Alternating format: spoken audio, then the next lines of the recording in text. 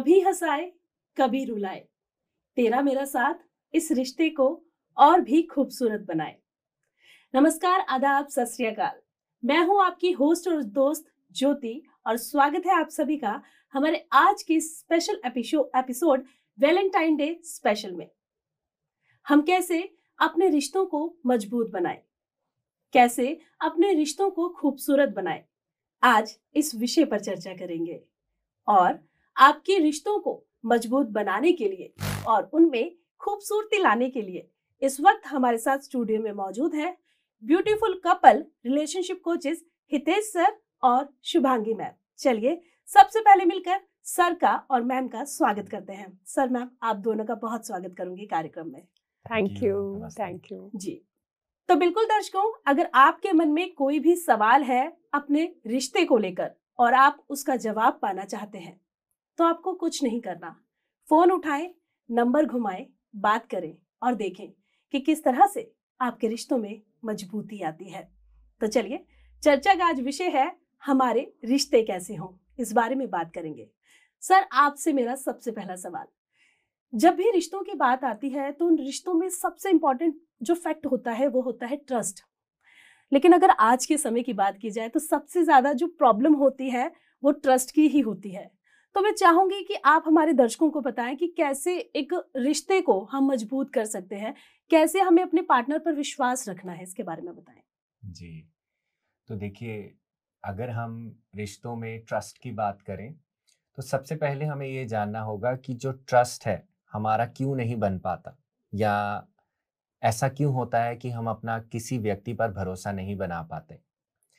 तो अगर इसकी जड़ पर जाएँ तो हो सकता है कि अगर हमारी लाइफ में ऐसे कोई इंसिडेंट्स रहे हों, जहाँ पे हमारा भरोसा टूटा हो, या हम भरोसा रखने के लिए प्रिपेयर ना किए गए हों, जैसे कि हम बचपन में हमारी कोई सिचुएशंस होती हैं, हम बचपन में जब बड़े होते हैं धीरे धीरे बड़े होते हैं तो हमारी लाइफ में अगर ऐसी कोई सिचुएशंस हो जाए, जहाँ पे हमारा भरोसा टूटा हो, या हमें भरोसा रखने के लिए प्रिपेयर ही ना किया गया हो यानी कि हमारी परवरिश ही इसी तरीके से हुई हो कि हम किसी पर भरोसा रखने के लिए तैयार ना हुए हों। तो एक तो रीज़न, सबसे इंपॉर्टेंट रीज़न ये है कि हमारा जो बचपन में कैसा हमारा ट्रस्ट के साथ रिश्ता रहा, क्या हम किसी पर ट्रस्ट कर पाए या हमारा ट्रस्ट रखा हमने। जैसे कि अगर मैं आपको एक एग्ज़ाम्पल दूँ, पेरेंट्स ने कहा कि अगर आप क्लास में फ़र्स्ट आओगे तो मैं आपके लिए एक बाईसाइकिल लूँगा। तो बच्चा उस चीज़ के लिए सारी अच्छी तरीके से प्रिपरेशन करता है, अच्छे से अंक लेता है और मार्क्स भी आ जाते हैं, पर पेरेंट्स अपने दिए गए प्रॉमिस को पूरा नहीं कर पाते हैं। तो होता क्या है, बच्चे का कहीं ना कहीं ट्रस्ट फैक्टर जो होता है पेरेंट्स के ऊपर, वो टूट जाता है। इस तरह से क्या होगा, आगे भी अगर उसकी लाइफ में कोई सिचुएशन आती है, जहाँ पे जो कहा गया, वो पूरा नहीं किया गया, जो भी प्रॉमिस करा गया, वो पूरा नहीं किया गया तो धीरे धीरे जो ट्रस्ट का उसका स्तंभ है, वो धीरे धीरे कहीं ना कहीं वीक पड़ने लगता है। फिर क्योंकि हमारी बचपन की अवस्था, हमारे एडल्ट की अवस्था को बहुत डीपली इम्पैक्ट करती है, हम चाहे ही बीस, तीस, चालीस साल के हो जाएँ, पर जो हमारे बचपन के कहीं ना कहीं इंसिडेंट्स होते हैं, जो हमारी बिलीफ सिस्टम होता है, वो कहीं ना कहीं बहुत दूर तक हमारे साथ चलता है। और ऐसा बच्चा जब प्रौढ़ बनेगा एडल्ट स्टेज में जाएगा उसको दूसरों पर ट्रस्ट रखने के लिए कहीं ना कहीं दिक्कत होगी। वो दूसरों के चीज़ों के अंदर कहीं ना कहीं शंका करेगा और देखेगा कि अगर ये व्यक्ति मुझसे बड़ा हंस के बात कर रहा है या यू you नो know, मेरे से बड़े प्यार से मेरे पास आ रहा है तो इसका कोई मतलब है। उस पर वो शंका करेगा उस पर ट्रस्ट नहीं कर पाएगा तो सबसे बड़ी चीज़ ये। दूसरा हमारे पास अगर लाइफ में रिजेक्शन के एक्सपीरियंसेस रहे हों हमने बहुत रिजेक्शन एक्सपीरियंस करी हो तो आगे जाकर क्या होता है? हम रिजेक्शन ना लेने की बजाय हम ट्रस्ट ना करना पसंद करते हैं। कि हम ट्रस्ट ना करें, भरोसा ना करें, क्योंकि अगर मैंने किसी चीज़ पर भरोसा किया और फिर से मुझे रिजेक्शन मिला तो मैं फिर सहन नहीं कर पाऊँगा। और अबैंडनमेंट हम कह सकते हैं कि अगर बचपन में आप अकेले पड़ गए हों या लाइफ में कोई ऐसी सिचुएशन हुई हो, जहाँ पे आपको बिल्कुल खुद में अकेला महसूस हुआ हो और जब हम अकेले होते हैं तो क्या होता है दोस्तों? हमारे अंदर अनसेफ की फीलिंग आती है। तो बड़े होकर हम फिर से किसी पर ट्रस्ट नहीं करते हैं क्योंकि हम अनसेफ फीलिंग को बार बार अपनी लाइफ में एक्सपीरियंस नहीं करना चाहते। तो मैं सिर्फ़ ये कहना चाहूँगा कि अगर आपको आपके रिश्ते में ट्रस्ट करने में दिक्कत हो रही है तो सिर्फ़ उस जगह पर ना देखें कि मुझे ट्रस्ट इश्यूज़ क्यों आ रहे हैं। अपनी मनोस्थिति में, मनोअवस्था में, अपनी चाइल्डहुड में, अपने पास्ट के एक्सपीरियंसेस में देखें कि कहाँ आपका ट्रस्ट बनने में दिक्कत हुई, कहाँ आपका ट्रस्ट का जो फाउंडेशन था वो टूटा। क्योंकि अगर आप उस चीज़ को डील करेंगे, तभी आप अपने ट्रस्ट को वापस से रीगेन कर सकते हैं। जी सर तो ट्रस्ट जो हम करते हैं अपने पार्टनर पर वो कहीं ना कहीं बचपन से ही हम चीज़ों को फेस करते हैं। और इसकी वजह से एडल्ट होकर हमें ये समस्याएँ जो होती हैं परेशानियाँ जो होती हैं फेस करनी पड़ती है रिलेशनशिप में। मैम आपसे मेरा सवाल कई बार देखा जाता है कि एक रिलेशनशिप है एक पर्सन उस रिलेशनशिप में बहुत ज़्यादा स्पिरिचुअल है बहुत ज़्यादा डीप है हम्म। लेकिन दूसरा जो व्यक्ति है वो वैसा नहीं है तो हम्म। जो स्पिरिचुअल पर्सन है वो चाहता है कि हम अपने इस रिश्ते को स्पिरिचुअलिटी के साथ चलाएँ बहुत अच्छे से चलाएँ लेकिन वो नहीं चल पाता है हम्म। ऐसे में वो पर्सन जो स्पिरिचुअल है वो क्या कर सकता है जी तो देखिए जो आध्यात्मिकता है हम सोचते हैं आध्यात्मिकता क्या है? आध्यात्मिकता है, या तो भक्ति योग होना चाहिए, जब हम भगवान की भक्ति कर रहे हैं, पूजा कर रहे हैं, हम उसको आध्यात्मिकता समझते हैं। और उसका दूसरा भाग भी है कि हम ज्ञान योग। हम सोचते हैं जब ज्ञानी बनते हैं, हम विजडम को लेते हैं तो वो भी अध्यात्म का ही हिस्सा है। और तीसरा आता है ध्यान योग, कि जब हम ध्यान करते हैं, हम उसको आध्यात्मिकता सोचते हैं। तो ये तीन हम सोचते हैं आध्यात्मिकता का मतलब है। बट जो चौथी चीज़ है, वो है कर्म योग। कि कर्म से ज़रूरी नहीं है कि आप भक्ति योग कर रहे हैं, ध्यान योग कर रहे हैं, ध्यान योग कर रहे हैं बट आप कर्म से आध्यात्मिक है। तो शायद जो आप आध्यात्मिकता की परिभाषा सोच रहे हैं, दूसरा जन वो नहीं कर रहा है। पर ज़रूरी नहीं है कि वो अध्यात्म नहीं है, वो अपने कर्म से, अपने काम से वो ध्यान या आध्यात्मिकता की ओर है तो हमें देखने की ज़रूरत है कि वो कैसी आध्यात्मिकता कर रहा है। और हमें लगता है जो हम कर रहे हैं, वही सही है, उसको भी वही करना चाहिए तो हम उसको अपनी तरफ़ खींचने लगते हैं। तो ज़रूरी नहीं है आप उसको खींचिए। देखिए, अगर आप ध्यान कर रहे हैं, आप ध्यान से बाहर जा रहे हैं, क्लासेस ले रहे हैं, सिखा रहे हैं और आपके परिवार वाले ध्यान नहीं कर रहे पर आप सोचेंगे वो ध्यानी नहीं है, पर मैं कहूँगी वो ध्यानी है, क्योंकि वो आपको रोक नहीं रहे हैं, आपको जाने दे रहे हैं तो उनका भी योगदान है आपके ध्यान में। पर हमें लगता है जो ध्यान कर रहा है वही आध्यात्मिकता की ओर है। और दूसरा, अगर आप आध्यात्मिकता में हैं तो आप दूसरे जन को भी स्वीकार करेंगे जैसे वो है। आप अपने एक्शन से, अपने कर्मों से उनको प्रेरणा देंगे कि उनके अंदर भी वो बदलाव आ जाए। क्योंकि वो आपको देखेंगे बदलता हुआ कि आपके अंदर बदलाव है। डेफिनेटली वो सोचेंगे कि ऐसा क्या है कि जो आपको बदल गए तो मैं भी वो करना चाहूँगी। तो वो प्रेरणा बनेगा। तो वो अपने आप आध्यात्मिकता में आएँगे तो आपको खींचने की ज़रूरत नहीं है किसी को। आप सिर्फ़ अपने पे ध्यान दें अपना कर्मयोग करते रहें दूसरों को स्वीकार करें जैसे वो है तो आपने आप ही वो आध्यात्मिकता की ओर आने लगेंगे। जब हम एक रिश्ते में होते हैं तो हमें सामने वाले इंसान से बहुत सारी उम्मीदें हो जाती हैं। वो हमारे लिए ये करेगा वो हमारे लिए वैसा करेगा हमारे साथ रहेगा। लेकिन हम नहीं सोच पाते कि उसकी एक अपनी जर्नी है वो एक अपने तरीके से अपनी लाइफ जी रहा है आप उसकी लाइफ में आए हैं एक पार्ट बने हैं लेकिन आप दोनों की एक डिफरेंट जर्नी है। सर इसके साथ मेरा अगला सवाल आपसे कई बार देखा जाता है कि दो लोग रिलेशनशिप में हैं, उसमें से एक पार्टनर जो है वो अब्यूजिव होता है। वो कोई भी हो सकता है, लड़का भी हो सकता है समटाइम्स लड़की भी होती है। लेकिन वो केयर करता है, वो अपनी हर रिस्पॉन्सिबिलिटी निभाता है। तो ऐसे में क्या उस पर्सन के साथ रहना सही है? इसके बारे में जानना चाहेंगे। देखिए, अगर ऐसे व्यक्ति जिसका आचरण आप बता रहे हैं, अगर हम उसको अच्छे से स्टडी करें, ऐसे व्यक्ति को स्टडी करें तो स्टडी करने का मतलब उसकी साइकोलॉजी का समझना। तो जिस तरह के आचरण की आप परिभाषा दे रहे हैं कि व्यक्ति सारा काम तो करता है, आपका ध्यान भी रखता है और साथ में एब्यूजिव भी है तो जान जाइए ये लक्षण है पोजेसिविटी के, कि वो व्यक्ति आपको पोजेस करना चाहता है। देखिए सीधी सीधी बात है, अगर रिश्ते में प्यार है डिसअग्रीमेंट्स हो सकते हैं, पर रिश्ते में अब्यूजिव होने की कोई ज़रूरत नहीं है। वो अब्यूज़ किसी भी तरीके का हो सकता है फ़िज़िकल अब्यूज़ मेंटल अब्यूज़ कभी कभी इमोशनल अब्यूज़ है ना? हम देखते हैं कि कभी कभी लोग हमें इमोशनली अब्यूज़ भी करते हैं। कैसे? वो हमसे बात करना बंद कर देंगे। हाँ या हमें किसी और तरीके से पीड़ा पहुँचाने की कोशिश करेंगे। तो अब्यूज जहाँ पे जिस किसी भी रिश्ते में आए तो ये देखना चाहिए कि उस बच्चे उस व्यक्ति की जो जर्नी रही है साइकोलॉजी रही है वो कैसे वहाँ तक पहुँची है। तो इसीलिए इस तरह के व्यक्ति को अपने ऊपर थोड़ा सा ध्यान देना चाहिए। देखना चाहिए कि अगर मेरा ऐसा तरीका रहा है ये जो पॉजिटिविटी है ये जो एंगर इश्यूज़ है मेरे साथ अगर ये मेरे साथ हैं तो डेफिनेटली आपके कहीं पास से आ रहे हैं आपके चाइल्डहुड से आपके साथ चलते आ रहे हैं। तो अपने इमोशंस की ज़िम्मेदारी लें अपनी खुद की रिस्पॉन्सिबिलिटी उठाएँ क्योंकि जिस रिश्ते में एब्यूज़ होना शुरू हो जाए तो आप जान जाइए ये रिश्ता धीरे धीरे करते हुए फिर वीक पड़ने लगेगा। बाकी रिश्ता सब कुछ एब्जॉर्ब कर सकता है हर तरह का शौक ले सकता है पर एब्यूज़ के लिए हम थोड़ा सा अपने आप को थोड़ा दूर रखें। जी सर मैम आगे चर्चा करेंगे लेकिन कार्यक्रम में दर्शक हमारे साथ जुड़ चुके हैं उनसे बात करेंगे। हेलो? हेलो जी नमस्कार बहुत स्वागत है आपका नाम बताएँ अपना। नमस्कार मैम मेरा नाम रेनू है। जी रेनू जी कहाँ से बात कर रही हैं आप? जी मैं भोपाल से बात कर रही हूँ। पूछिए अपना सवाल। अ, जब हम एक रिश्ते के लिए बाकी सभी रिश्तों को छोड़ देते हैं उस एक इंसान के साथ कमिट कर लेते हैं फिर एक दो साल बाद वही चीज़ें हमारे लिए चेंज क्यों हो जाती हैं। जी।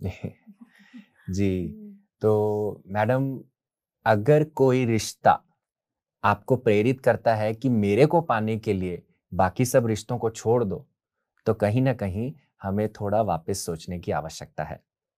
तो प्रेम की परिभाषा क्या होती है? प्रेम आपको मुक्ति का द्वार दिखाता है। प्रेम आपको फ्रीडम देता है, आपके विंग्स को फैलाता है, आपके पंखों को काटता नहीं है।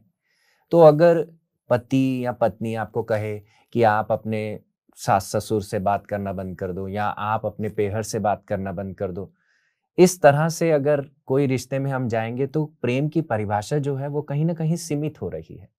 और अगर आप भी इस चीज़ से इन्फ्लुएंस होकर कहीं ना कहीं अपने आप को उसी दिशा में लेकर जा रहे हैं तो आपको भी काम करना चाहिए। क्योंकि रिश्ते तभी मज़बूत बनते हैं, जैसे ताली दोनों हाथों से बजती है। तो इसीलिए रिश्तों को अगर मज़बूत करना है तो दोनों हाथों से ही मुझे भी काम करना है और मेरे प्रेमी को भी काम करना है। तभी रिश्ते स्ट्रांग बनेंगे और हम, रिश्तों का मूल उद्देश्य क्या है? कि जब दो खुश व्यक्ति एक दूसरे के साथ आते हैं तो संसार में खुशी बांटते हैं। अगर आप खुद को काटते जाएँगे तो खुद की खुशी तो क्षीण करेंगे ही करेंगे और दूसरों का भी स्ट्रेस बढ़ाएँगे। तो इसीलिए अगर कोई रिश्ता आपको इस चीज़ के ऊपर प्रेरणा करता है कि आप बाकी सबसे बात करना बंद करो, आप थोड़ा इस पर थोड़ा क्वेश्चन करिए, खुद भी सोचिए इस चीज़ के ऊपर, तभी आप इस चीज़ से आगे बढ़ सकते हैं। जी, जब कई बार हम रिश्ते में होते हैं तो उस इंसान के लिए हम पूरी दुनिया को छोड़ने के लिए तैयार हो जाते हैं। लेकिन थोड़े वक्त बाद क्या होता है? वही इंसान जो होता है, वो हमसे धीरे धीरे दूर हो जाता है। कोई भी नया रिश्ता आपको जोड़ना सिखाता है, तोड़ना नहीं। तो जहाँ तोड़ना पड़े, वो रिश्ता आपके लिए कितना सही है, ये आपको खुद सोचना होगा। लगातार टीवी स्क्रीन पर नंबर फ्लैश हो रहे हैं। अगर अपने रिश्ते को लेकर कोई भी सवाल आपके मन में है तो आप हमें कॉल कर सकते हैं बात कर सकते हैं और फिर देखें कि बात करने के बाद कैसे आपको आपके रिश्ते के लिए समाधान मिलता है।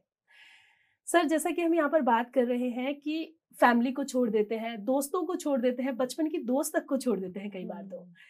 तो फैमिली का क्या रोल होता है एक रिलेशनशिप में? इसके बारे में जानना चाहूँगी। जी तो देखिए हम कहते तो हैं दो व्यक्तियों के बीच में शादी होती है। पर ऐसा नहीं होता है। दो परिवारों के बीच में शादी होती है, क्योंकि जब लड़की दूसरे घर में जाती है तो उसको एक नए मेंबर की तरह दूसरे समाज में लिया जाएगा, दूसरे परिवार में लिया जाएगा। अब वो परिवार का हर व्यक्ति अपने, उस परिवार का भी कोई कस्टम है, कोई ट्रेडिशन है, कोई वैल्यूज़ फॉलो की जाती हैं, उनका भी कोई दिनचर्या है तो लड़की वो सारा कुछ अपनाती है। और अगर लड़की सोचे कि मैं सिर्फ़ अपने हस्बैंड के साथ ही लिंक रखूँगी और हस्बैंड सोचे मैं सिर्फ़ अपनी वाइफ के साथ ही लिंक रखूँगा दूसरों के साथ नहीं लिंक रखूँगा तो ये बहुत ही एक नैरो डेफिनेशन है हमारी यू you नो know, हमारे फैमिली सिस्टम की। क्योंकि हम जब देखिए रिश्ते में बनाते रिश्ते बनते हैं हमारे रिश्ता सिर्फ़ प्रेमियों का नहीं होता माता पिता का भी होता है हमारे भाई बहनों का भी होता है हम कहते हैं वसुदैव कुटुंबकम। हम कुटुंब की बात करते हैं। तो रिश्ता कभी भी दो व्यक्तियों में नहीं होता। रिश्ता हमारे परिवार में। आप भी देखते हैं हमारे जब परिवार में, घर परिवार में शादी होती है तो हमारे परिवार वाले सब इकट्ठे आते हैं। वेस्टर्न सिविलाइजेशन की तरह नहीं है कि हम बाहर जाएँ और शादी करके हमारा काम हो जाए। हमारे परिवार इकट्ठे जुड़ते हैं। एक दूसरे में मिलाप होता है। हम बहुत सारा चीज़ इधर से प्यार, उधर से प्यार एक दूसरे को देते हैं। तो इसी से ही हमारी जो मेन फाउंडेशन है हमारे प्यार की बनती है कि व्यक्ति को हम अपने जीवन में नहीं अपने परिवार में भी लेकर आते हैं। जी और इसी में जैसे परिवार की हम बात कर रहे हैं तो परिवार होता ही है एक दूसरे को यू you नो know, एक सपोर्ट करने के लिए। क्योंकि कभी होता है कि बच्चों को क्योंकि आप एक न्यूक्लियर फैमिली में है तो आप सारे काम खुद मिलकर नहीं कर सकते हो। तो कहीं ना कहीं परिवार एक सपोर्टिंग सिस्टम बन जाता है आपको, जो सहायता करता है आगे बढ़ने में, कि वो आपके बच्चे का भी ध्यान रखता है, ताकि बच्चे को वो पूरा नर्चर वो प्यार मिल सके, ताकि वो परिवार में बड़ा हो सके और उसको समझ आए कि हाँ ये है परिवार में साथ रहने का और कितने फ़ायदे हैं साथ रहने के, कि कोई बीमार होता है तो कोई और देख सकता है है ना, काम कोई और कर सकता है खाना कोई और बना सकता है। तो परिवार के साथ रहने में हमें बहुत कुछ सीखने को मिलता है और मैं कहूँगी जो प्यार हम देख रहे हैं वो प्यार की डोज भी डबल हो जाती है क्योंकि जितने परिवार जने होंगे उतना ही आपको वो प्यार देंगे। तो परिवार एक नींव के जैसे है अगर आपकी परिवार के साथ आपकी जड़ें स्ट्रांग है ऑब्वियसली तो फिर जो आप उसके ऊपर बनाएँगे वो बढ़ता ही जाएगा। बिल्कुल सर मैम आगे चर्चा करेंगे लेकिन अगले दर्शक हमारे साथ हैं उनसे बात करेंगे। हेलो। हेलो। जी नमस्कार बहुत स्वागत है आपका। नाम बताइए अपना। मेरा नाम रानी जैन है। जी कहाँ से बात कर रहे हैं आप? मैं दिल्ली से। क्या सवाल है? बताइए। हाँ जी मैं ये कह रही हूँ मेरे हम लोग मेरे दो बच्चे हैं। जी। हम लोगों ने भी लव मैरिज करी थी। जी। पहले घर वालों ने बत्तीस साल तक तो अपनाया नहीं था। फिर उसके बाद अपना भी लिया। उसके बाद मतलब हमारे हस्बैंड वाइफ के अंदर कुछ बन नहीं है। रहते तो हम इकट्ठे ही हैं। जी जी। मैं खुद बिज़नेस करती हूँ और बुटीक चलाती हूँ। मगर रह इकट्ठे रहे हैं क्योंकि बच्चों के लिए रहना पड़ता है। मगर हर टाइम हर टाइम वो वो इस तरह से इम्प्रेस होते हैं कि ये भी चीज़ मेरे नाम कर दो ये भी मेरे नाम कर दो। हम्म, तो इसकी वजह से कुछ बात ज़्यादा ही बढ़ती है। पच्चीस साल से कोई रिलेशन भी नहीं है मेरा उनके साथ। हम्म, उनकी लाइफ में कुछ और हुआ था तो मैं उस वजह से छोड़ दिया था। मैंने कहा या तो वहाँ रख लो या मेरे से रख लो। हम्म, उनकी कोई गर्लफ्रेंड थी।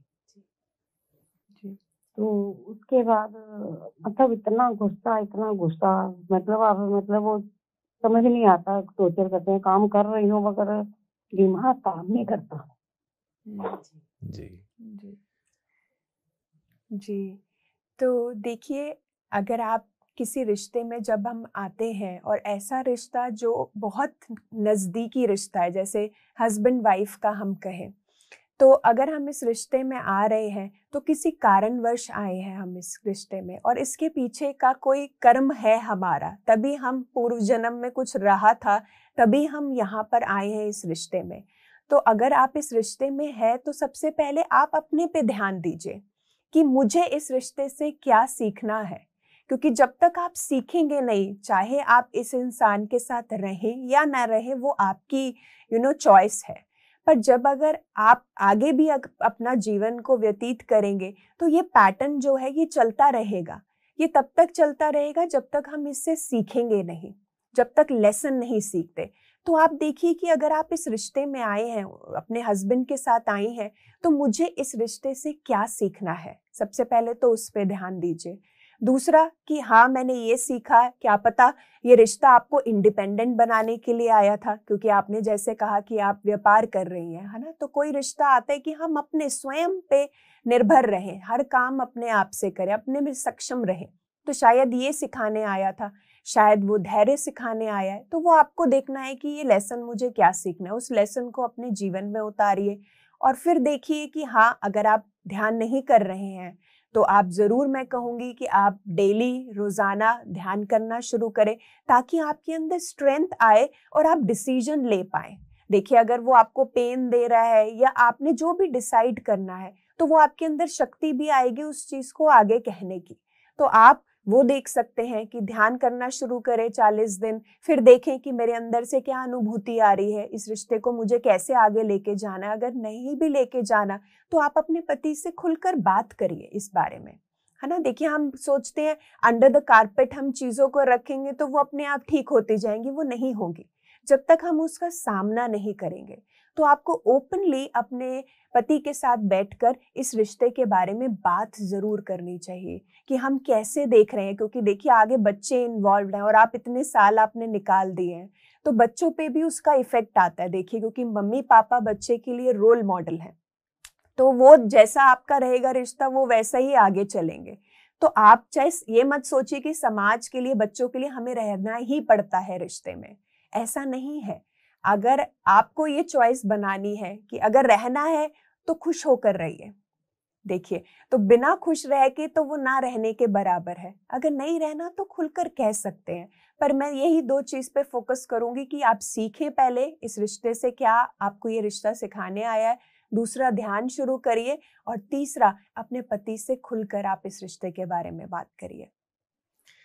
और जी। जी, रानी जी, मैं आपको ये भी कहना चाहूँगा कि अक्सर जो हमारे जीवन में मुश्किल रिश्ते होते हैं, जो कठिन रिश्ते होते हैं, वो जो हमें दुश्मन लगते हैं, इस इस धरती पर हमें दुश्मन लगते हैं, वो वास्तव में हमारे बहुत अच्छे रिश्ते होते हैं, हमारे आत्मीय स्तर पर।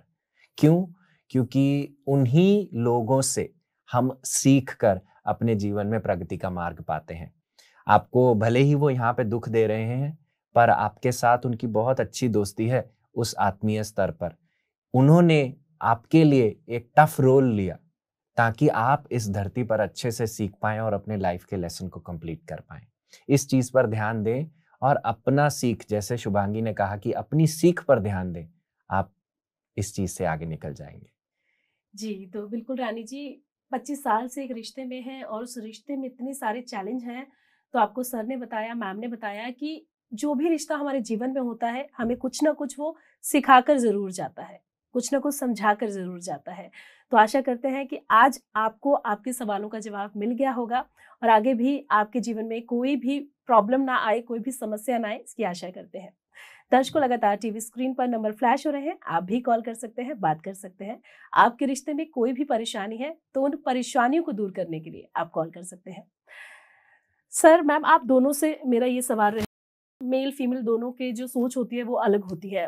पच्चीस साल का एक रिलेशनशिप और उसमें और वो भी लव मैरिज और जब उसमें धोखा मिलता है या फिर किसी के साथ कुछ भी गलत होता है तो ऑब्वियस ही बात है जो सामने वाला पर्सन है उसके ऊपर उसका बहुत गलत इम्पैक्ट पड़ता है।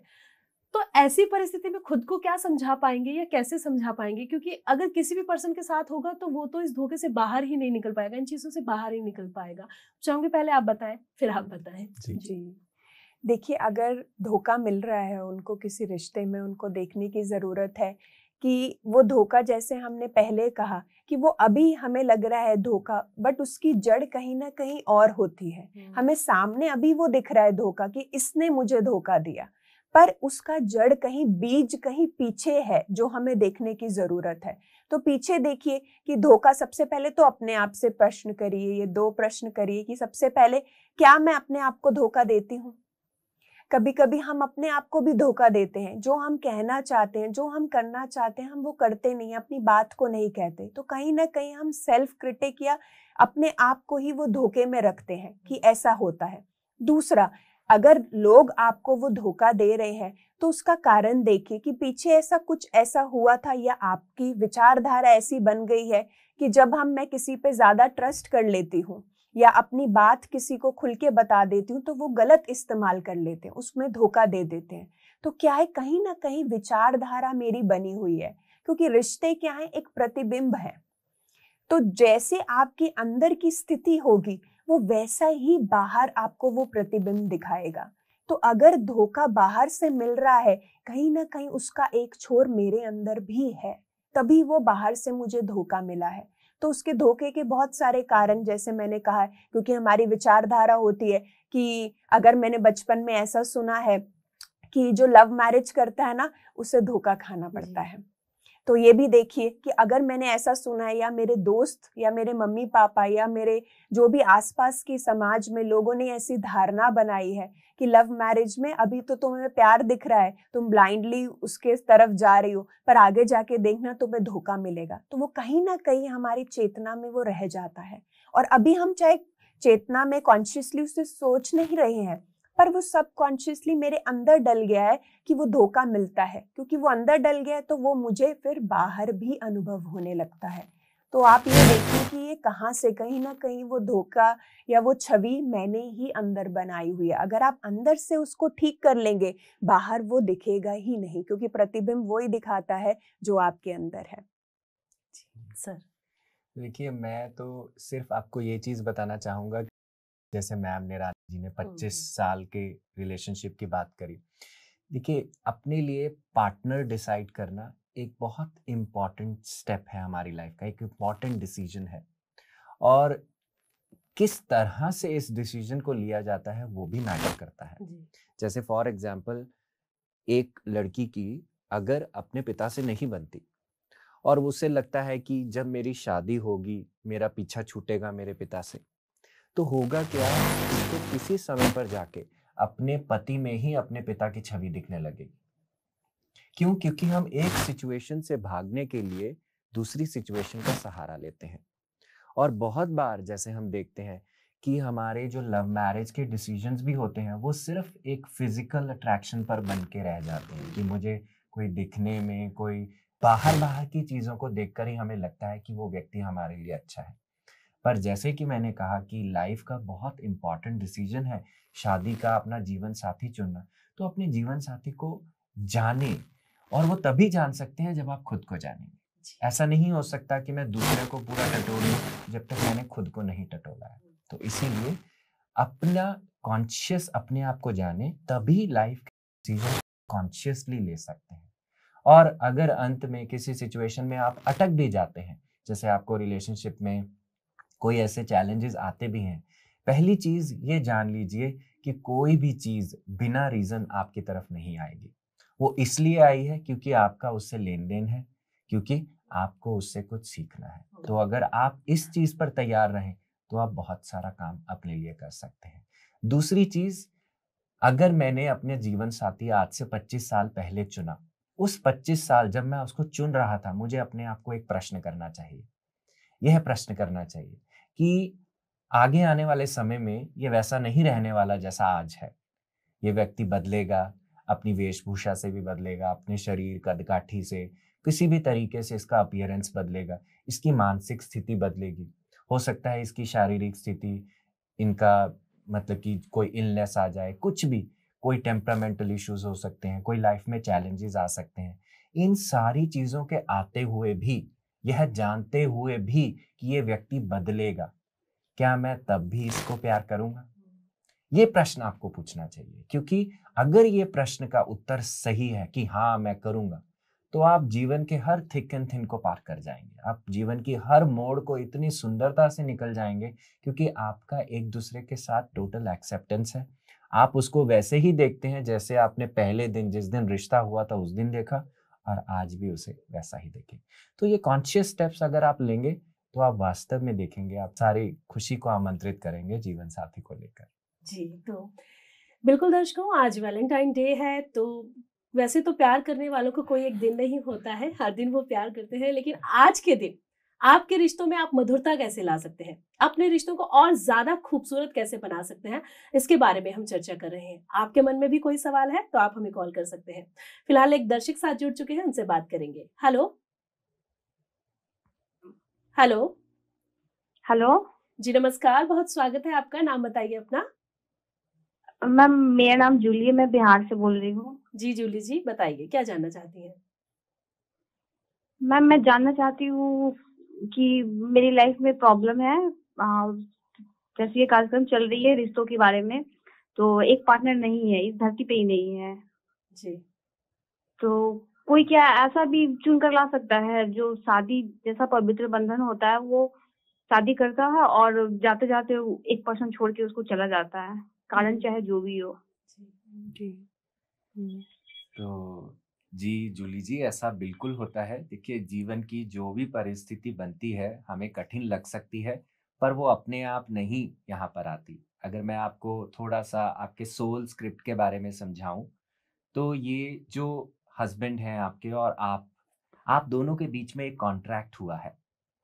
एक जैसे हम कह लें कि धरती पर जब हम कोई काम करते हैं, जैसे रेंट अग्रीमेंट बनता है, हमारा कॉन्ट्रैक्ट बनता है ना? उसके अंदर first party second party clauses लिखे जाते हैं। ठीक उसी प्रकार से आत्मीय स्तर पर भी आप दोनों का एक कॉन्ट्रैक्ट चल रहा है। और उस कॉन्ट्रैक्ट में आप दोनों ने कहीं ना कहीं निर्धारित किया है इस परिस्थिति से अपने आप को लेकर जाना। और उन्होंने क्या लिखा है कि मैं आपको इस तरह से छोड़ के जाऊँगा और उसके बाद आपके पास दो रास्ते होंगे। दो रास्ते क्या होंगे कि या आप कंप्लेंट करते जाओ और ये कहते जाओ कि ऐसा मेरे साथ क्यों हो गया, ये बड़ा दुख वाला विषय है और अपने आप को शिकायत के रास्ते पर लेकर जाओ। दूसरा रास्ता जो आपके लिए इस कॉन्ट्रैक्ट में लिखा हुआ है, वो ये है कि इस चीज़ को, इस चीज़ के होने के बाद भी आप उस चीज़ पर ध्यान दीजिए कि मैं अपने लिए सक्षम हूँ, मैं अपने लिए भरपूर हूँ। और मैं आगे अपने जीवन को बहुत सुचारू अवस्था से चला सकती हूँ। जैसा चलना चाहूँ, वैसे चला सकती हूँ। अपनी शक्ति का मार्ग चुनिए, क्योंकि ये वाला रास्ता आपको सशक्त बनाएगा, आपको एम्पावर करेगा। तो रास्ते दो हैं, सुझाव आप दोनों के लिए हैं, आपके लिए हैं। इन दोनों में से आप कोई भी रास्ता चुन लीजिए, जो आपको लगता है कि आपके आत्मा के उत्थान के लिए जाएगा। एक, जहाँ पे आप शिकायत कर रही हैं कि ऐसा क्यों हुआ दूसरा जहाँ आप शिकायत नहीं कर रही हैं अपने जीवन को अपने हाथ में लेकर आगे बढ़ने का प्रयास करती हैं। और मुझे आशा है आप दूसरा रास्ता चुनेंगे क्योंकि वो आपको आपकी प्रगति की ओर लेकर जाएगा। हमारी शुभकामनाएँ। जी।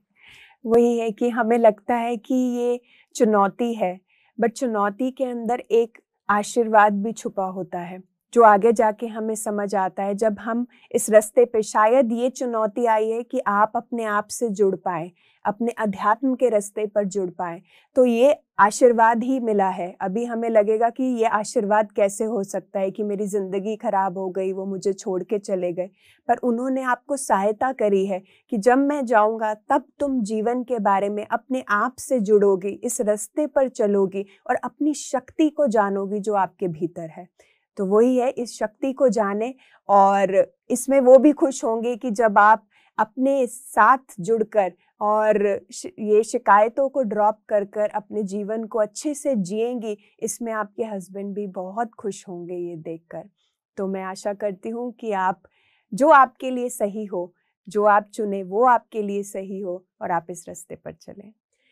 जी, जूली जी तो जो भी हुआ है या जो भी आपके मन में इस वक्त सवाल चल रहे हैं, आपने वो सवाल भी किए, लेकिन ये आपकी जर्नी है, ये उनकी जर्नी थी। शायद ये आपके लिए एक रास्ता है कि अब आपको समझना है आगे कैसे चलना है जीवन को क्या समझ कैसे समझना है ये रास्ता अब आपको खुद चुनना है। आशा करते हैं कि आपकी लाइफ में कोई भी समस्या कोई भी परेशानी कभी ना आए। सर मैम आप दोनों से ही मेरा सवाल। कई बार देखा जाता है कि रिश्तों में बहुत ज़्यादा खटास होती है। तो क्या हम अध्यात्म के मार्ग पर चलकर या फिर मेडिटेशन से उस खटास को दूर कर सकते हैं? इसके बारे में जानना चाहूँगी। जी। जी तो बिल्कुल, क्योंकि देखिए, जो भी खटास या जो भी चैलेंज या प्रॉब्लम ले लीजिए क्योंकि हमारा दृष्टिकोण क्या रहता है, जब भी कोई चैलेंज या प्रॉब्लम आता है, हम बाहरी उसको, उसका उत्तर ढूँढने में लगे रहते हैं। और वो बाहरी उत्तर शायद हमें मिलता भी नहीं है कभी कभार पूरा जीवन भी निकल जाता है। या अगर मिलता है तो दूसरों के अनुभवों से मिलता है। हमें लगता है जो दूसरे कहेंगे, वो कहेंगे, शायद ये करके देख लीजिए, इससे ठीक हो जाएगा, इससे ठीक हो जाएगा। पर हमें फिर भी वो नहीं ठीक होता है। तो मैं कहूँगी, आध्यात्मिकता क्या है? आध्यात्मिकता ये है क्योंकि प्रश्न भी, देखिए, चुनौती भी आपके जीवन में आई है, आपके प्रश्न भी आपके भीतर से आए हैं तो उत्तर भी कहीं ना कहीं आप ही के भीतर है, वो अनुभूति भी आप ही के अंदर है, क्योंकि आप सक्षम है। जो प्रश्न जैसे हम कहते हैं ना कि ताला जो बनता है बिना चाबी के नहीं बनता तो हर प्रश्न का हर उत्तर है, पर वो उत्तर आप ही के भीतर है तो आध्यात्मिकता आपको ये शक्ति जो आपके भीतर की है, वो जागरूक करती है। ताकि आप जागरूक रहें कि मेरे भीतर चल क्या रहे क्या भाव आ रहे क्या ये चुनौती मेरे डर के कारण आई है? क्या मैंने ऐसी विचारधारा बनाई है जिसके कारण ये चुनौती का मैं सामना कर रहा हूँ? तो ये बहुत क्लैरिटी आपको आध्यात्मिकता लाता है। तो बिल्कुल, हर चुनौती को सामना करना आपका ये आध्यात्मिकता आपको सिखाती है। तो मैं ज़रूर कहूँगी कि अगर आप इस रास्ते पर चलते हैं तो आपको हर चुनौती का सामना करना आध्यात्मिकता सिखाती है। क्योंकि बाहरी लोग क्या कहेंगे, मत सोचो इसके बारे में, दबा दो या इससे भाग जाओ, कहेंगे। पर आध्यात्मिकता कहती है उसका सामना करना क्योंकि सामना कर कर ही आप उस चुनौती को ख़त्म कर सकते हैं या डिज़ोल्व कर सकते हैं। तो बहुत ज़रूरी है मैं कहूँगी ध्यान या आध्यात्मिकता के रास्ते पर आना। जी। सर। तो जैसा कि शुभांगी ने कहा कि मेडिटेशन हमें क्या करता है? भीतर से स्ट्रांग बनाता है है हम कई चीज़ों को छुपाने की कोशिश करते हैं और अध्यात्म हमें ये सिखाता है कि अगर मेरी जो बाहर की सृष्टि है, वो मेरे भीतर की सृष्टि से बनती है। अर्थात अगर हम अपने वेदों की बात करें, वेदों में लिखते हैं, यत्त पिंड तत्त ब्रह्मांड, यत्त पिंडे तत्त ब्रह्मांड। यानी कि जैसा पिंड होगा, वैसा ही ब्रह्मांड होगा। मैं पिंड हूँ और मेरे आसपास की जो सृष्टि है, वो ब्रह्मांड है। तो जैसी मेरे अंदर की सृष्टि होगी, वैसे ही मेरे बाहर की सृष्टि होगी।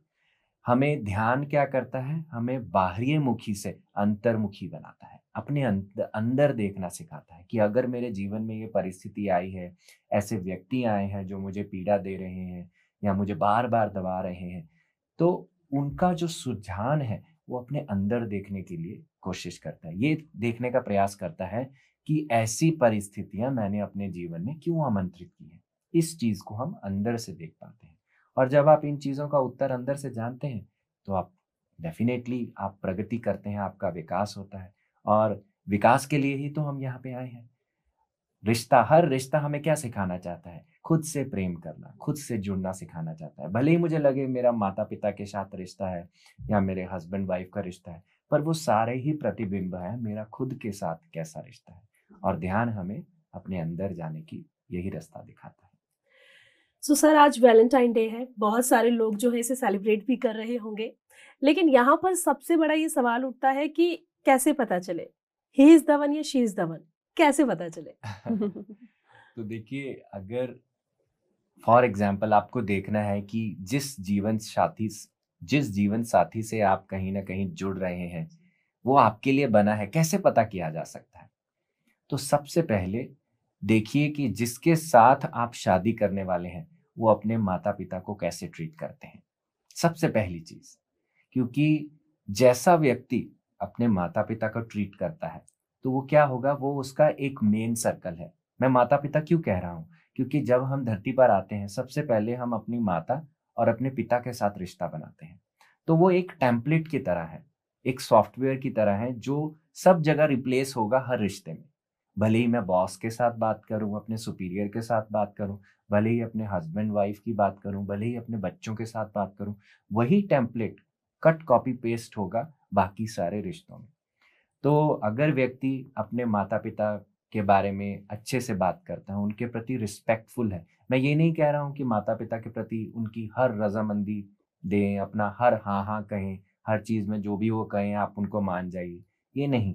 मैं कह रहा हूँ कि अगर वो ना भी कहें पर अपने माता पिता के प्रति कभी आदर ना भूले। तो ऐसा व्यक्ति कहीं ना कहीं हम सोच सकते हैं कि ये हमारे लिए ठीक है इस चीज़ को हम एक एक बहुत इंपॉर्टेंट स्टेप दे सकते हैं। और ऐसा भी क्यों? क्योंकि वो व्यक्ति जैसे आप बिग बॉस देखते हैं। बिग बॉस में लोग तीन महीने के लिए इकट्ठे रहते हैं। तो कोई भी अपना मास्क ज़्यादा देर तक नहीं पहन के रह सकता। अपने आप ही जो उसले उनके असली रंग होते हैं वो बाहर आ जाएँगे। ठीक उसी प्रकार से।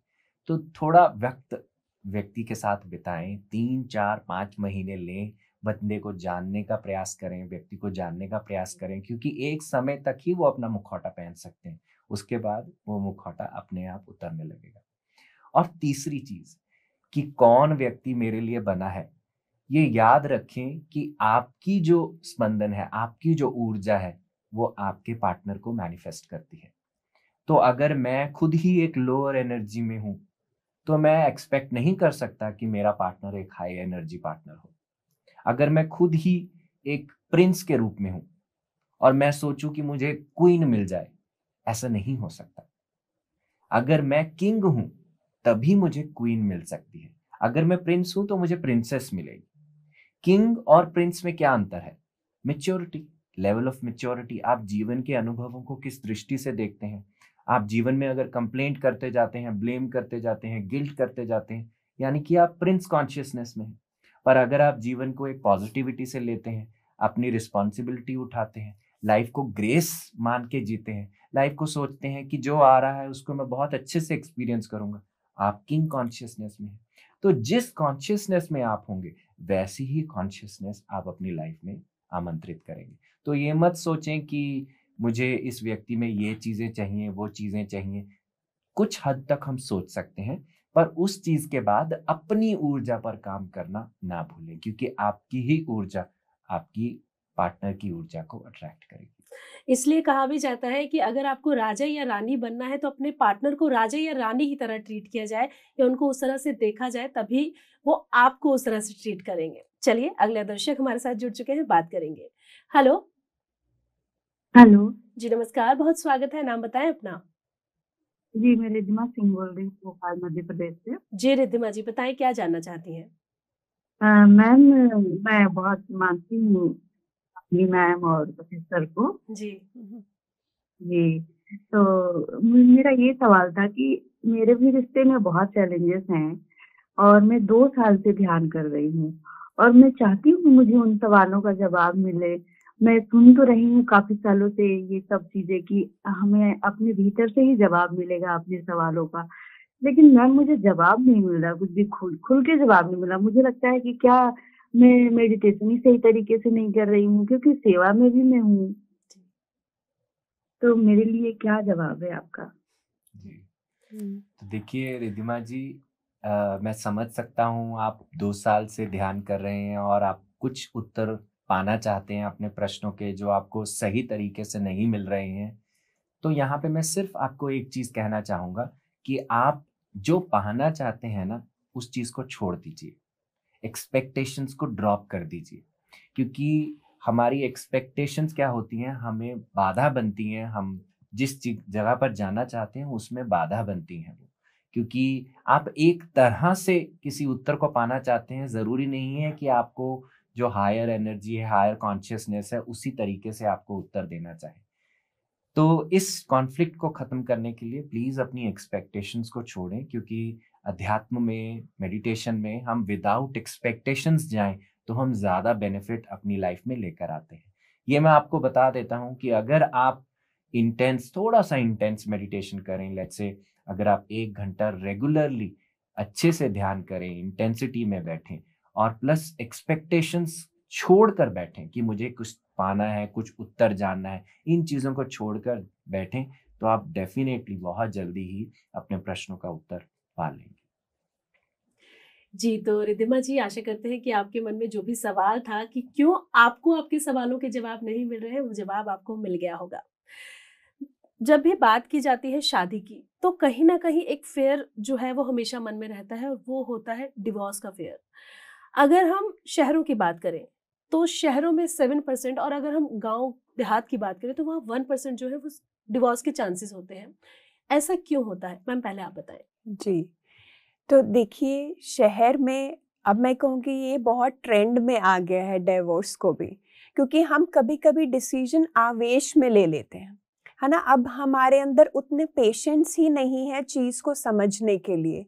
जैसे छः महीने मैंने अपने केस स्टडीज़ में देखा है कि तीन महीने अभी शादी को हुए और वो डिवोर्स फ़ाइल कर रहे हैं। छः महीने हुए हैं डिवोर्स फ़ाइल कर रहे हैं। और बहुत छोटी छोटी चीज़ों पे ये होता है। क्योंकि अब हमारा समाज इतना, हम कंफर्ट ही कह लीजिए या कह तो रहे हैं कि हमारा विकास हो रहा है, हम आगे बढ़ रहे हैं, पर लिटरली हम आगे बढ़ रहे हैं, वो मैं नहीं कह पाऊँगी, शायद हम पीछे की ओर जा रहे हैं। क्योंकि यहाँ पे इतना कंपटीशन है और हम इतना कंपेयर करते हैं, क्योंकि उसकी शादी में देखो इतना पैसा है, उसके कंफर्ट दे रहे हैं, उसका हस्बैंड इतना शॉपिंग करा रहा है, मेरा नहीं करा रहा है तो क्या है, हम अब इतने ज़्यादा कंपेयर करते हैं तो हम ये डिसीज़न आवेश में आकर ले लेते हैं कि हमें इस रिश्ते में नहीं रहना है। ये एक कारण हो सकता है। दूसरा कारण ये होता है कि अब हम जैसे पहले कहते थे कि अब जिस कल्चर में हम रहते हैं कि वहाँ पे आदमियों को ऊपर और फीमेल्स को नीचे करा जाता है, पर अब जैसे उल्टा हो रहा है, अब फीमेल्स बहुत इंडिपेंडेंट हो रही है और कहीं ना कहीं वो स्त्री तत्व से दूर हो रही हैं क्योंकि वो आदमी बनना चाह रही हैं। और उन्हें लगता है मैं आदमी बन गई हूँ तो मैं सक्षम हूँ। मैं अपना घर चला सकती हूँ, पैसे कमा सकती हूँ, हर काम खुद कर सकती हूँ। तो अगर वो हस्बैंड कुछ और उन्हें कहे तो वो बोलेंगी कि नहीं, मुझे रहना ही नहीं है, मुझे डिवोर्स लेना है, मैं अपना काम खुद कर सकती हूँ, मुझे मत बताओ कि मुझे कैसे करना है। तो हमें देखने की ज़रूरत है दोस्तों कि जब हम एक शादी में आते हैं, एक यूनियन है ये, क्योंकि हम ना, मैं ये नहीं कहूँगी हम दोनों बराबर हैं या हम दोनों पुरुष और महिला आगे हैं, एक दूसरे से कम है। मैं कहूँगी हम दोनों अलग हैं दोस्तों। ये समझना होगा कि पुरुष अलग है और महिला अलग है। और दोनों की, मैं कहूँगी स्ट्रेंथ भी अलग होती है। अगर आप देखेंगे, महिला जो होंगी, उनकी क्या स्ट्रेंथ रहेंगे? कौन आपसे पूछता है कि आपने खाना खाया? टाइम पर खाना खाया, मैं आपके लिए क्या बनाऊँ खाने के लिए? तो ये क्या है? ये स्ट्रेंथ है महिला की। और पुरुष के सवाल कैसे रहते हैं कि तुमने टैक्स फ़ाइल करा, तुमने आईटीआर फ़ाइल करी, बैंक में ये काम करा तो क्या है दोनों की फोटे अलग अलग है, बट ये दोनों कॉम्प्लीमेंट करते हैं एक दूसरे को? ये दोनों एक जैसे नहीं बन सकते, ना ही एक दूसरे से कम है, बट ये कॉम्प्लीमेंट करते हैं। देखिए, आदमी कमा कर लाता है तो महिला घर बनाती है। एक एक बिल्डिंग को वो घर बनाती है उसके अंदर ये सक्षम है ये स्ट्रेंथ है उसकी कि पैसे को वो कैसे यूटिलाइज करती है उसको घर चलाना और इतने पैसे में वो घर चला सकती है और पैसे बचा भी सकती है उन पैसों में। ये कला है महिला की और पुरुष की क्या है? कमा कर आना। तो हमें ये दोनों का देखने की ज़रूरत है कि हम दोनों कॉम्प्लीमेंट करें हम ना झगड़े में पड़ जाते हैं। हम ये सोचते हैं अच्छा तुम कमा रहे हो, मैं तुमसे ज़्यादा कमा के दिखाऊँगी। अच्छा मैं ये करूँ तो तुम क्यों नहीं करे? तुम बच्चे क्यों नहीं संभाल रहे? या ये घर का काम क्यों नहीं करे? हम कंपेयर करें हम ये नहीं देख रहे कि हम कॉम्प्लीमेंट कैसे करें कि ठीक है, तुम यहाँ से ये काम करोगे तो मैं ये इसको ऐसे बनाकर दिखाऊँगी। है ना? हम कोलैबोरेट करें एक दूसरे के साथ। अगर हम ऐसी विचारधारा में एक शादी में जाते, एक रिश्ते में जाते तो मैं कहूँगी ninety two ninety five percent divorce होंगे ही नहीं। क्योंकि आप समझ गए हो कि हमारा जो कोर है ना महिला का कोर क्या है? प्यार है। अगर प्यार पे बात आ जाएगी तो उसको लगता है सब कुछ वो छोड़ सकती है पर प्यार नहीं। अगर आप उससे प्यार के दो मीठे बोल बोलोगे ना वो अपना जीवन भी आप पे नौछावर कर देगी। ये उसका कोर है। तो आप पुरुष को देखने की ज़रूरत है कि अगर आप बिज़ी जितने भी मर्ज़ी हो दिन में, दो मिनट आप उससे प्यार से बैठ के बात करिए कि कैसा रहा तुम्हारा दिन। तुम्हें कोई दिक्कत तो नहीं हुई, सिर्फ़ ये दो प्यार के बोल, वो अपनी सारी दिक्कतें भूल सकती हैं। और जो पुरुष का कोर होता है, वो होता है आज़ादी, फ्रीडम। अगर अगर महिला उसकी फ्रीडम को कंट्रोल करेगी, वो आदमी दूर जाएगा। अगर आप कहोगे, नहीं, तुम्हें अपने पुरुष दोस्तों के साथ नहीं जाना, या मेरे बिना तुम घूमने नहीं जा सकते। तो क्या है, वो पीछे होगा, आपका रिश्ते से पीछे होने लगेगा क्योंकि आप उनके फ्रीडम को कंट्रोल करो अगर आपको पूरा भरोसा है कि वो चाहे जहाँ पर भी जाए, वो मेरे पास ही, वो उसका प्यार सच्चा है, वो उसको फ्रीडम दीजिए। जितना फ्री छोड़ेंगे ना, वो आपके पास अपने आप आएगा। जितना आप उसको बाँध कर रखेंगे, वो उससे दूर जाएगा। तो ये बहुत ज़रूरी है। अगर आप ये कोर ध्यान रखें, महिला का प्यार और पुरुष का फ्रीडम कोई झगड़े ही नहीं हो सकते कोई डिवोर्स ही नहीं हो सकते। अगर इस पे हम काम कर लेंगे तो मैं कहूँगी जो ये सेवन परसेंट है वो ज़ीरो परसेंट हो जाएगा। जी। सर। देखिए एक शब्द है वेडिंग और एक शब्द है मैरिज ये दोनों में अंतर है। वेडिंग क्या है? आज मेरी वेडिंग है। जो छोटे स्पैन के लिए चलता है। हम अपनी वेडिंग के लिए बहुत एक्साइटेड होते हैं क्योंकि हम नए कपड़े पहनेंगे, हम एक वेन्यू में जाएँगे अच्छा खाना खाएँगे डीजे करेंगे और प्री वेडिंग शूट भी करेंगे। ये सारी चीज़ों को हम बहुत एक्साइटमेंट से लेते हैं। पर जो मैरिज होती है मैरिज एक कमिटमेंट का इंस्टीट्यूशन है दोस्तों। क्योंकि हम वेडिंग के लिए तो बहुत एक्साइटेड हैं, पर क्या हम एक्साइटेड एक्साइटेड हैं मैरिज के लिए? क्योंकि वेडिंग के बाद अब मैरिज में हम स्लिप करेंगे तो वो चीज़ कमिटमेंट मांगेगी। और कमिटमेंट का अगर मेन बीज है, क्या आप खुद से कमिटेड हैं? अगर आप खुद से कमिटेड नहीं है तो आप दूसरे से भी कमिटेड नहीं हो सकते। तो एक शादी को सक्सेसफुल बनाने के लिए हस्बैंड वाइफ दोनों को अपनी अपनी पर्सनल रिस्पॉन्सिबिलिटी लेनी चाहिए। अपनी इमोशनल मेंटल स्टेट पे काम करना चाहिए। वाइफ अपना इमोशनल मेंटल स्टेट पे काम करे, तभी दोनों व्यक्ति खुश, अपने आप में खुश होके। शादी इसलिए नहीं की जाती कि कोई व्यक्ति मुझे खुश रखेगा। मेरी शादी मेरे को खुश रखने का बोझ शुभांगी पे नहीं है, या शुभांगी को खुश रखने का बोझ मुझ पे नहीं है। मेरी खुशी का बोझ मुझ पे है, शुभांगी की खुशी का बोझ खुद पे है। जब दो खुश व्यक्ति इकट्ठे आते हैं तो संसार में खुशी ही फैलती है। नहीं तो क्या होगा? तुम मेरा ये ध्यान रखो तुम मुझे फूल दो तुम मुझे ये करो। ये सारी चीज़ में बहुत ज़्यादा हॉचपॉच है। तो खुद में संपन्न बने। जब मैं अपना ध्यान रखूँगा तो मैं अपने प्रेम की एक्सटेंशन करूँगा जिसके साथ मैं शादी करूँगा। सर मैम एक सवाल ये भी उठता है कई बार देखा जाता है कि हम एक रिलेशनशिप में है। दिखाने के लिए हम बहुत खुश हैं लेकिन अंदर ही अंदर हम कहीं ना कहीं उस रिलेशनशिप में घुट रहे हैं। हमें खुलकर जीना है। हमें स्पिरिचुअल जीवन जीना है तो कैसे हम रिलेशनशिप में रहकर स्पिरिचुअल जीवन को जी सकते हैं इसके बारे में जानना चाहते हैं। जी। जी। तो देखिए अपना जीवन जीना कोई बुरी बात नहीं है हमें ज़रूर जीना चाहिए। प्रॉब्लम एक्चुअली कहाँ पे आती है जब हमें लगता है कि या हम ये कर सकते हैं या हम वो कर सकते हैं। दिस और दैट की सिचुएशन हम क्रिएट करते हैं। पर मैं कहूँगा कि लाइफ दिस और दैट की सिचुएशन के अलावा हमारे मिडिल पाथ में चलती है।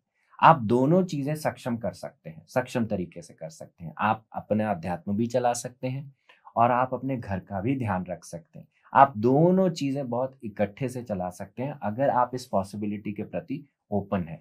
अगर आप इस पॉसिबिलिटी के प्रति क्लोज हैं तो ऐसी पॉसिबिलिटी फिर आप मैनिफेस्ट ही नहीं कर सकते।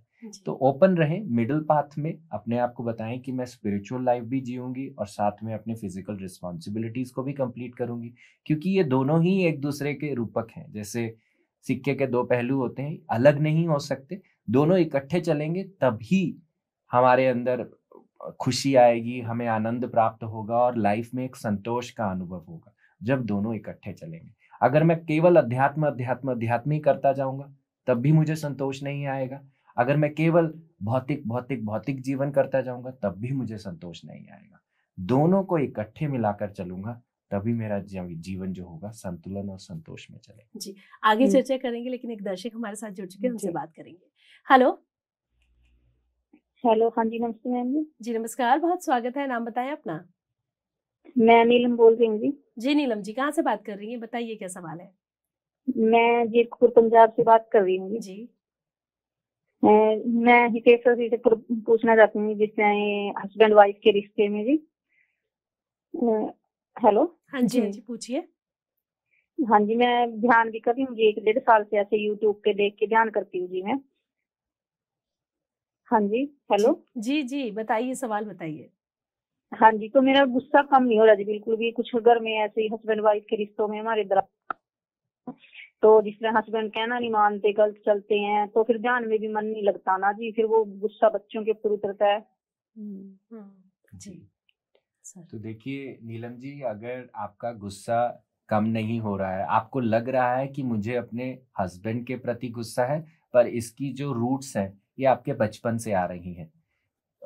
मैं आपको ये कहूँगा कि अगर आप अपने गुस्से को कहीं ना कहीं ट्रांसफॉर्म करना चाहते हैं तो आप दो तीन प्रोसेसेस कर सकते हैं छोटी छोटी एक्सरसाइजेस कर सकते हैं, थोड़ा फ़िज़िकल काम करें। जैसे फॉर एग्जांपल अगर आपको अभी इस समय में बहुत गुस्सा आया है, हम ज़्यादातर क्या करते हैं, अपने गुस्से को एक्सप्रेस कर देते हैं किसी दूसरे व्यक्ति के ऊपर।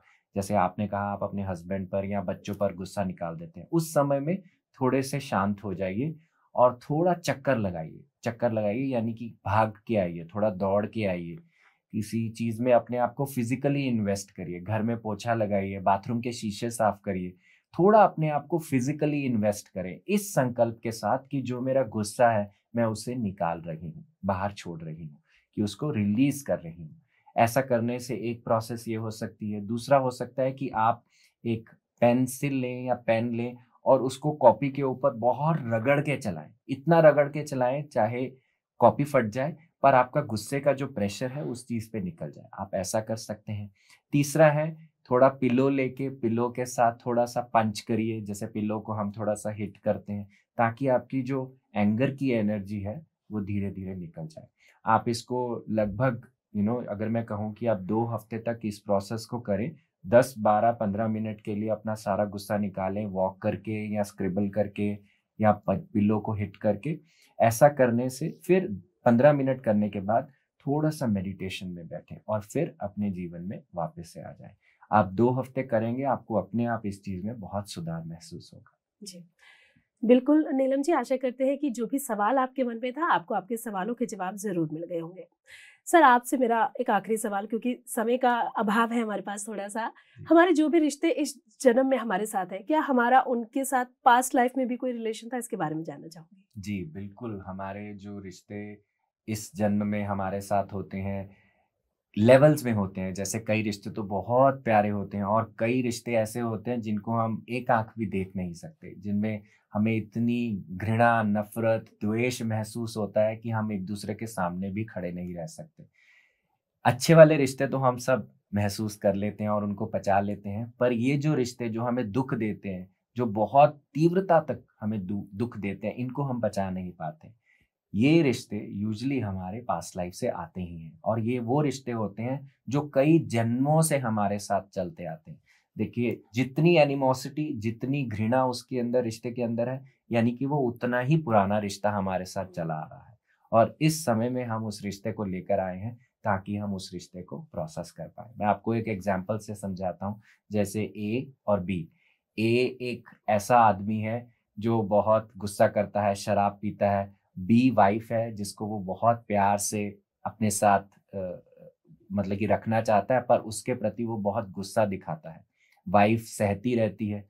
अब जब ये दोनों ही ए बी जो इस रिश्ते में है कहीं ना कहीं हो सकता है कि बी ने किसी पास लाइफ में ए को वही किया हो जो वो महसूस कर रही है। हम्म। अब इस लाइफ टाइम में उसने अपने लिए एक व्यवस्था बनाई है कि दूसरे के जूते में कैसा महसूस होता है। अब मैं वो फील करके देखो।